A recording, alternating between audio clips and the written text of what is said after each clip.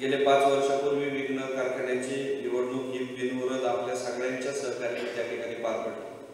आणि पाच वर्षामध्ये संचालक मंडळावर आपण विश्वास ठेवून आम्ही संचालक मंडळाने आपल्या शेतकरी संस्था कामगार या सगळ्यांचं हित जोपासण्याचा प्रयत्न आमच्या माध्यमातून त्या ठिकाणी झाला.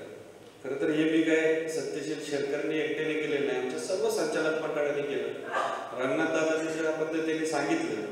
आज या ठिकाणी विष्णू पण शेतकरी उपस्थित आहे तर सर्व संस्थेमध्ये जो काही माजी संचालक असेल सभासद असेल या तालुक्यातला पदाधिकारी असेल या सगळ्यांना विश्वासात घेऊन जे जे निर्णय चांगल्या पद्धतीने शेतकऱ्यांच्या हितासाठी घेता येतील तो घेण्याचा आम्ही सर्व मंडळींनी त्या ठिकाणी प्रयत्न केला. सर्व संचालक मंडळाचं सहकार्य त्या ठिकाणी लाभलं. एका विचाराचं संचालक मंडळ त्या ठिकाणी त्या संस्थेमध्ये काम करत होतं. आजही संचालक मंडळ देत असताना राजकारणाचे जोडे बाहेर ठेवून कुठल्याही प्रकारचं व पक्षीय या ठिकाणी असलेलं संचालक मंडळ या ठिकाणी नाही. सर्वांचं एक विचाराचं शेतकऱ्यांच्या विचाराचं आणि शेतकऱ्यांच्या हितासाठी दिलेलं हे संचालक मंडळ एकवीस जणांचं पॅनल हे शिवनेर पॅनल आपल्यासमोर या ठिकाणी दिलेलं आहे.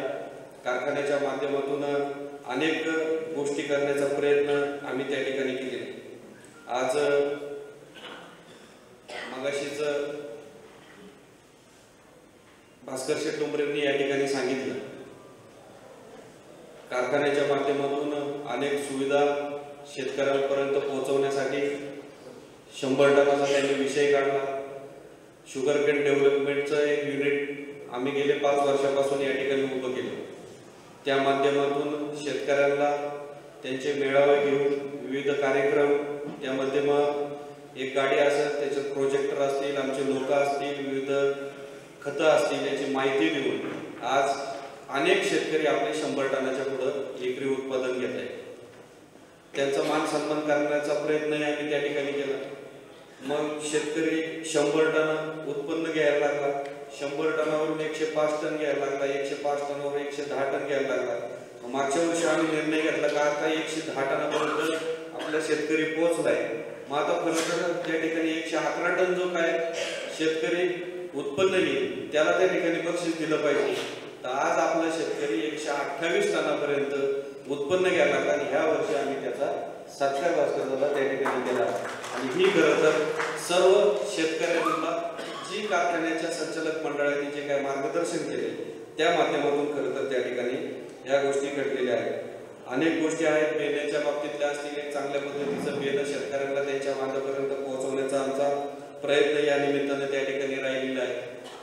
ते करत असताना माती परीक्षण असं शेतकऱ्यांना कुठलाही मोबदला न घेता शेतकऱ्यांनी कारखान्याच्या ऑफिसला त्याचा असलेला शेतातला शॅम्पल मातीचा शॅम्पल हा त्याच्या गट ऑफिसला दिल्यानंतर त्याला कारखान्याच्या माध्यमातून त्याच्या असलेला त्याचे काय परीक्षण असं हे विना मोबदला फुकटमध्ये करून दिलं जातं.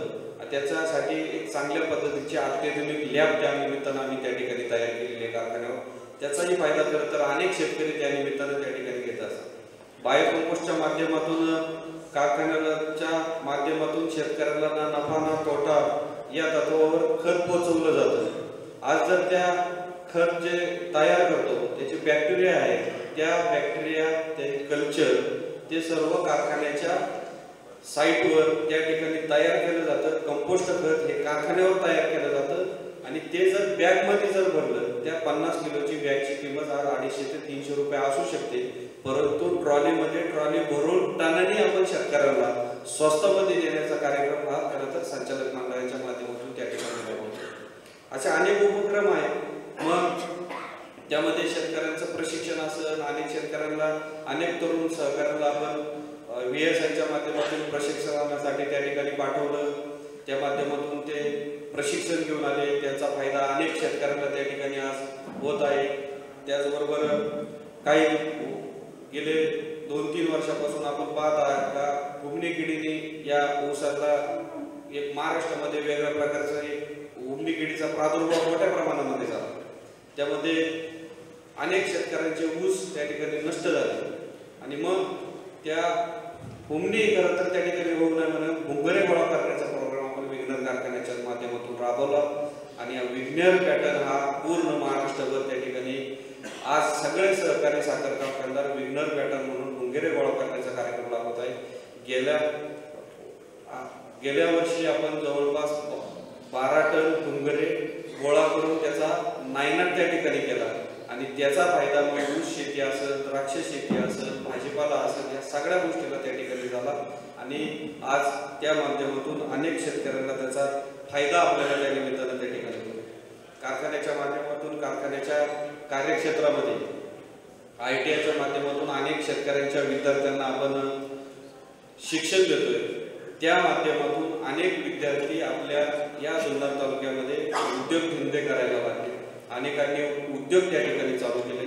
त्याचबरोबर आय टी आयच्या माध्यमातून अनेक विद्यार्थी चांगल्या चांगल्या कंपनीमध्ये त्या ठिकाणी आज नोकरी करत आहेत असे दरवर्षी जवळपास दोनशे अडीचशे दोनशे अडीचशे विद्यार्थी त्या ठिकाणी त्यांचे परिवार या नोकरी धंदा असेल किंवा व्यवसायाला त्या माध्यमातून काम करतात कारखान्याच्या माध्यमातून कारखान्याच्या साईटवर रामकृष्ण इंग्लिश मीडियम स्कूल हे त्या ठिकाणी चालू केले.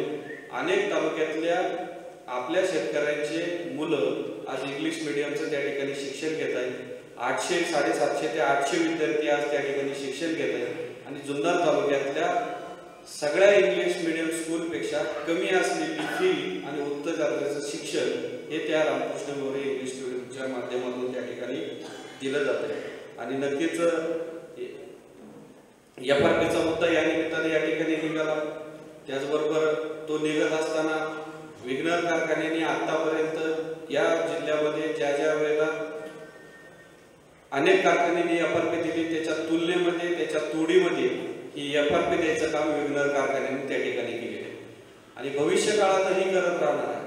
पैशाची जशी उपलब्धता होईल त्या त्या पद्धतीने आपण कारखान्याचं पेमेंट आधार आपण शेतकऱ्यांना करत आलो अनेक वेळेला जर लक्षात जर घेतलं तर महाराष्ट्रातल्या कारखानदाराची जर परिस्थिती जर आपण बघितली तर एकशे एकोणचाळीस सहकारी साखर कारखाने या महाराष्ट्रामध्ये कार्यरत आहेत. त्यातले फक्त सत्याहत्तर सहकारी साखर कारखाने चालू आहेत आणि बासष्ट सहकारी साखर कारखाने हे बंद आहेत. आणि खासगी सहासष्ट कारखाने आहेत. म्हणजे सहासष्ट खासगी कारखाने आणि सत्याहत्तर सहकारी साखर कारखाने. म्हणजे खासगी कारखान्याचे आणि सहकारी कारखान्यामध्ये फक्त दहा कारखान्यांचा डिफरन्स राहिला जर खासगी दहा कारखाने झाले तर सहकारी कारखाने आणि खासगी कारखाने याची संख्या सारखी व्हायला म्हणजे हे सहकारी साखर कारखाने एवढे बंद पडायचं कारण काय? आहे म्हणजे बासष्ट सहकारी साखर कारखाने या महाराष्ट्रातले बंद पडले. त्याचं कारणच एक आहे की जी काय आताची काय कारखान्याच्या बद्दलची काही ती धोरणं आहे त्याच्या काय अडचणी आहेत त्या माध्यमातून कारखानदारी चालवणं मोठं अवघड झालेलं आहे.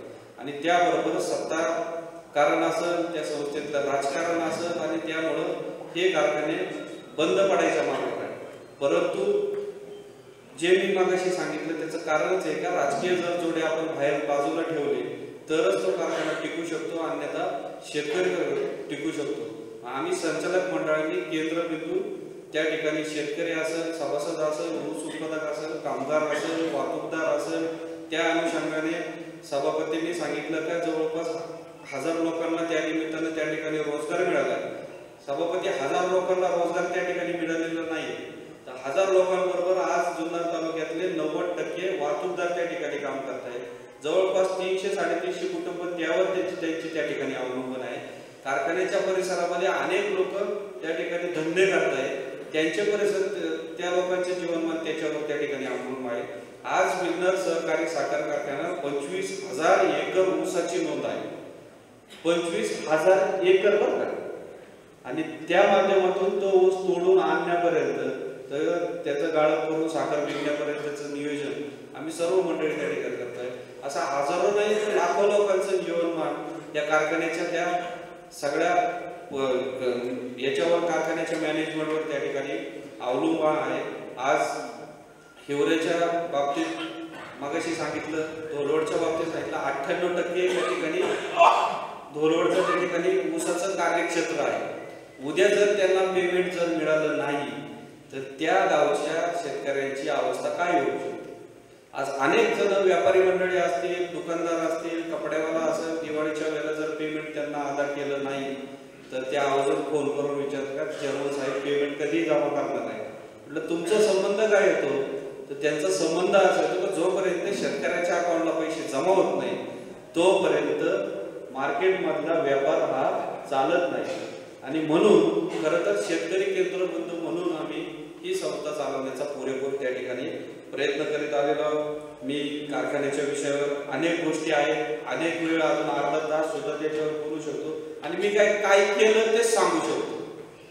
दुसरं काय आता इलेक्शन म्हटलं का प्रत्येकाला वाटतं काय आरोप प्रत्यारोप काहीतरी काहीतरी सांगणार काहीतरी बोलणार. पण पुढच्या मंडळींनी काय उभंच केलं नाही तर मी त्याचं बोलणार तरी काय? त्याच्यामुळे बोलायला पण काही नाही. आम्ही जे केले ते आम्ही सांगू शकतो. अनेक गोष्टी आहेत. आधुनिक तंत्रज्ञान असन आधुनिक मशिनरी असन हार्वेस्टर असन आता काल परवाच आम्ही जपान गव्हर्नमेंट असेल आपलं इंडियन गव्हर्नमेंट असेल दोघांबरोबर टाईप करून नवीन जापनीज एक कंपनीचं एक हार्वेस्टर या ठिकाणी आणले त्याची ट्रायल चालू आहे त्याची जर चांगले त्याचे त्याची ट्रायल जर चांगली झाली तर भविष्यामध्ये त्या पद्धतीची मशिनरी आपल्याला या ठिकाणी उपलब्ध करून द्या लागतील आणि ती पण शेतकऱ्यांच्या माध्यमातून करून द्या लागतील अनेक गोष्टी या ठिकाणी आहेत करण्यासारख्या आहेत. परंतु वेळेअभावी मी अधिकचा वेळ या ठिकाणी आपला घेणार नाही. खरं तर हे इलेक्शन लाग लाग लागली गेलेली खरी तर. ही इलेक्शन लागायला नको होती विरोध करण्याचा सर्व नेते मंडळी असतील सर्व शेतकरी असतील सगळे संबंधातली मंडळी असतील यांनी आटोलाट प्रयत्न केले की इलेक्शन होऊ नये म्हणून. परंतु आज ही इलेक्शन लागल्यामुळे संस्थेला एक कोटी रुपयाचा कमीत कमी एक कोटी रुपयाचा खर्च या ठिकाणी होणार आणि तो सगळा शेतकऱ्यांचा पैसा जाणार आहे. संस्थेचा पैसा जाणार आहे म्हणजे शेतकऱ्यांचा पैसा त्या ठिकाणी अनेक जणांनी फॉर्म भरले. जवळपास चाळीस जणांच्या माघारी त्या ठिकाणी झाला. ज्यांनी माघारी घेतल्या त्यांना विशेषतः या निमित्तानं मी आपल्या सगळ्यांच्या वतीनं शिवनेर पॅनलच्या वतीनं धन्यवाद देतो. त्यांचे आभार मानतो. त्याचबरोबर आपल्याच आपल्या ओतूरगावचे डॉक्टर गणपत डुंगरे यांनी फॉर्म भरला होता. त्यांचा फॉर्म तसाच राहिला. त्यांनी आपल्याला या ठिकाणी आपल्या शिवनेर पॅनलला पाठिंबा दिलेला आहे. त्याचबरोबर वामन बाबाराव कोरडे असतील पुरीचे आणि सुमनरावजी कोरडे असतील. या तिन्ही उमेदवारांनी आपल्या शिवनेर पॅनलला जो पाठिंबा दिला आहे त्याबद्दल मी सगळ्यांना मनापासून धन्यवाद देतो आणि त्यांचे आभार मानतो.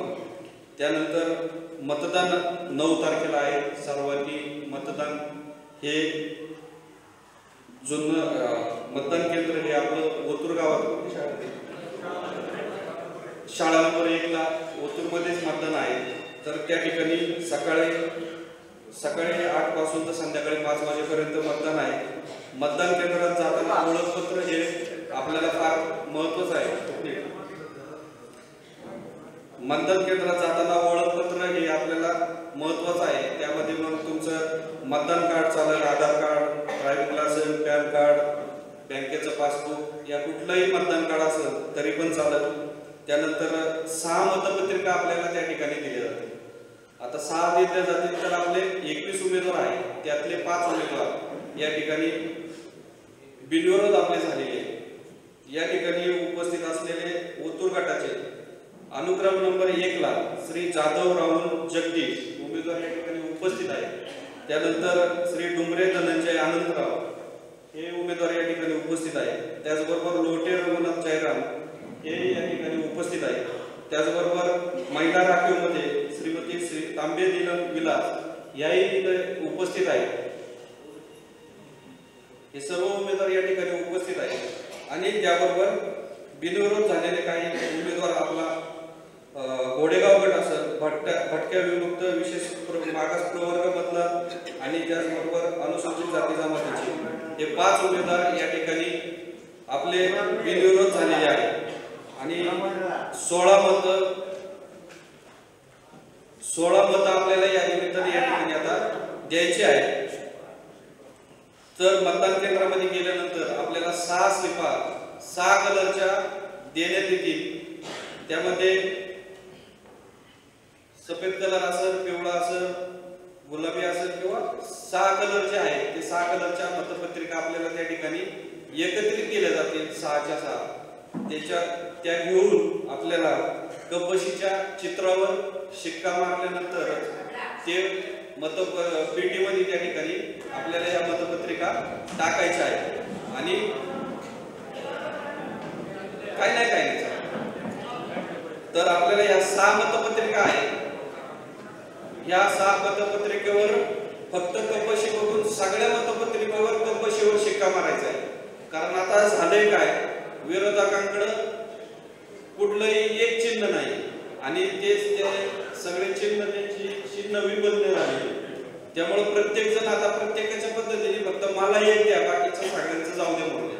अशा पद्धतीचा त्यांचा तो प्रचार चालू होईल किंवा प्रचार चालू झालेला आहे.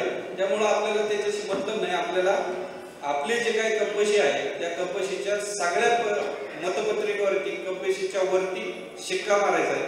आणि आपल्या शिवनेर पॅनेलच्या सर्व उमेदवारांना मोठ्या मताधिक्याने निवडून द्यावं अशी मी शिवनेर पॅनलचा प्रमुख या नात्याने सर्व संचालक मंडळाच्या आणि सर्व पदाधिकाऱ्यांच्या वतीनं विनंती करतो आणि या ठिकाणी थांबतो धन्यवाद.